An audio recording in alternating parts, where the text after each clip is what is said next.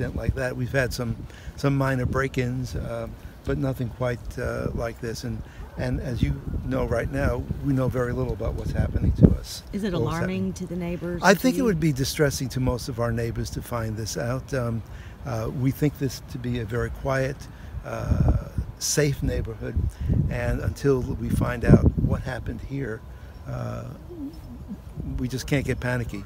Uh, I've asked our, I've informed our management company uh, about the incident that occurred here and asked them to handle any phone calls very quietly if they should get any, and I've also notified the other members of our board of directors.